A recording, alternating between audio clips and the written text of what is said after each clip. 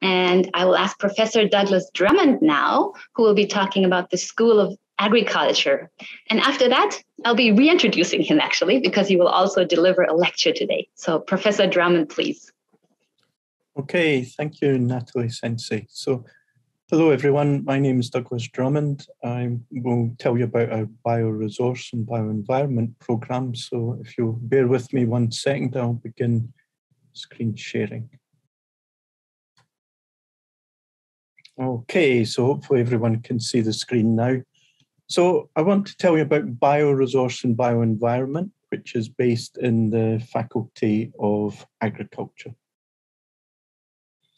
So I want to begin by just explaining a little bit about exactly what bioresource and bioenvironment is about. Well, as you're probably aware, the world's population has been increasing.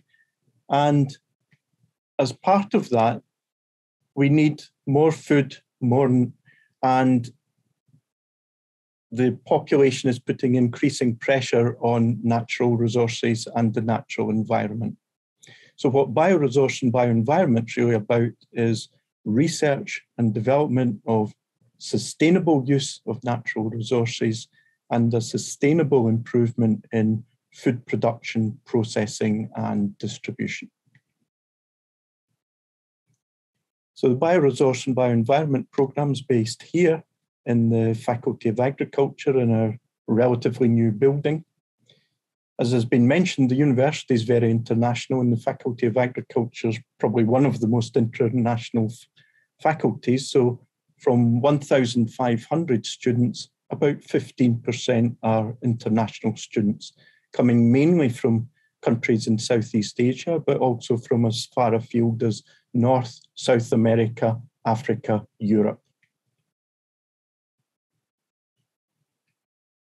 As one of the largest faculties, we have lots of resources to support our education and research. So that includes three university forests located throughout Japan. We have a fishery research laboratory with research vessels. There's university farms. Part of the farm is on Ito campus itself. So beside the agriculture building, we have research trial fields and greenhouses. But within the building, we have support for the very latest in research equipment. The structure of the course, as outlined by Natalie Sensei, as you've heard, is a four year course leading to a Bachelor of Science degree. And there's two ways that you can study with us. The first way is to spend four years studying here in Japan, where you have your first year of general education, second and third years more specialized, and then in the fourth year you do research project. And I'll explain in a moment in more detail about exactly what you would do within these years. But the second way that you can study with us is in a new program called the Dual Degree Program. So, in this program, you spend the first two years studying with us here in Fukuoka in Japan. But in your third year, you move to the USA and spend a year studying with Northern Arizona University before you then come back to Japan for your final year then, after you graduate, you get a degree from Kyushu University and a second degree from Northern Arizona. So, the end of four years, you have two degrees. Obviously, you need to do more work than on the regular program, so this option isn't for everyone. You don't enter this program directly, but you apply once you've joined as a bioresource and bioenvironment student. So, first year, for all students is general education. And I won't go through this again, but as Natalie Sensei has described, this is a general year which most students at Japanese universities do. Of more interest is what happens in the second and third years for bioresource and bioenvironment students. And we have four main areas of specialization animal resources, forestry and forest products, applied biosciences, agricultural resources, engineering, and economics. Now, one advantage of our course is you do not need to select your specialisation before you join. It's only really from the second year that you begin to select more specialised courses. So you can wait until you learn more about the topics before you decide on your final degree specialist area. So what do these topics cover? Well, animal resources has two comp- main components. One is animal science, which is looking at all aspects of anatomy, physiology, biochemistry, biotechnology of both domestic, that means farm animals, and wild animals. It's also related to food processing for animal feed and things like animal protection, which is really protecting animals from various disease and parasites. So subject areas might include anatomy, physiology, zoology, metabolism, behavior. Second aspect of animal resources is fisheries science. So this covers both marine and freshwater bioscience and biotechnology. So areas such as marine biology, fisheries biology, specifically we're looking at fishing related topics. Then there are more molecular subjects, marine biochemistry, marine resource chemistry, environmental science, and aquatic field science. And increasingly, aquaculture in the form of fish farming has become important in this area as well. The second main area, as I mentioned, is forestry and forest products. So within this, one main sub-area is forest environmental and management science. So this, as you might imagine, is really about management of forests for sustainable wood production, but it also covers things such as erosion control, more general government policies related to forest management.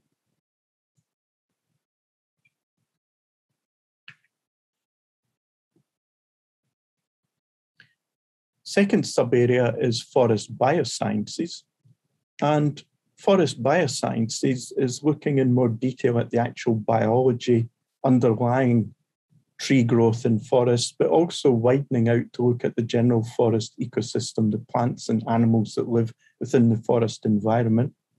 And then again, at a more molecular level, looking at natural products which you might obtain from forests and from things like fungi which grow within the forest environment.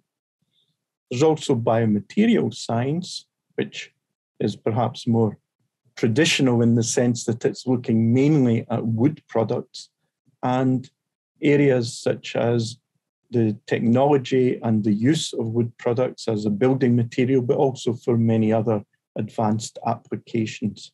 This is a much more physical chemical analysis of biomaterials such as wood from forests. Our third main area is applied biosciences. So this has two main subdivisions. One is food science and technology, which is actually a very popular area, usually with our IUP students. And this covers all aspects of food production, food nutrition. So, really, anything to do with the biology, chemistry, and even into engineering related to food production, analysis, food quality, and food safety. So, typical topics might be nutrition chemistry, food chemical biology, food analysis, food hygienic chemistry, but then food processing, process engineering, microbial technology, and so on. So, a mixture really of very molecular and microbiology related topics in this field. The second main area within applied biosciences is agricultural chemistry. So, this is biotechnology and chemistry applied to both agriculture and also natural products. So, natural products are, if you're not aware of them, are the sorts of products which would be obtained from a natural source. And that can include things which might be used as medicines or as pesticides or herbicides. So, this area covers both natural molecules like that, but also uses organic chemistry in laboratories, such as shown here, to modify or develop new molecules which can be used as herbicides and pesticides. So typical topics include plant nutrition, again, microbiology related areas, particularly applied microbiology, which is important in developing expression systems for natural product molecules, and up to the minute areas such as synthetic biology, which is creating new organisms to express and produce particular molecules in a more environmentally friendly way than has perhaps been possible in the past using traditional chemical methods. The fourth main area is agricultural resources, engineering, and economics. And this again covers a wide range of topics. So, starting with agronomy, which is really the science and application of that science to crop production. So, this covers areas such as plant breeding, crop science, horticultural science, plant production physiology, plant pathology, entomology, insect genome science. So, as well as studying crops, entomology, the study of insects, is important because, of course, many of the pests and problems that affect crops are caused by insects. So, this is looking at the natural biology, ecology of insects, particularly insect pests, but also at methods of control and increasingly looking at natural methods of control using one insect species to control another. The second main subdivision here is agricultural economics, which, in a complete contrast, is much more social science based. So, this is looking at both microeconomics and macroeconomics. So, that's looking at the economics ranging from individual farms and farmers economics through to macroeconomics, which is looking at the complete economic system of a whole country and looking at how national and international policy can affect the economics of agriculture, natural resource use within that country from an economic perspective. So, areas such as food and agricultural policies, agricultural and farm management, food economic analysis, food marketing, and distribution.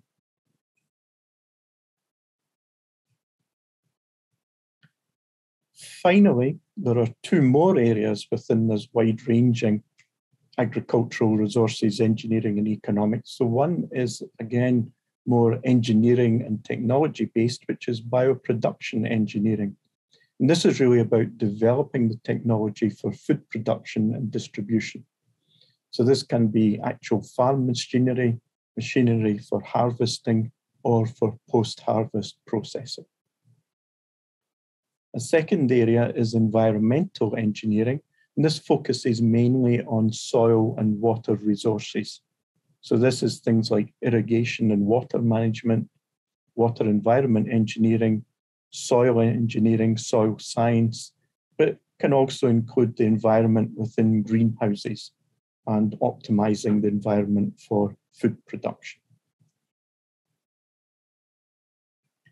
The fourth year, as I mentioned, students join a research laboratory, and as preparation for that, beginning in the second year, you'll have a series of tutorials to introduce you to the different specialised fields and topics covered by laboratories.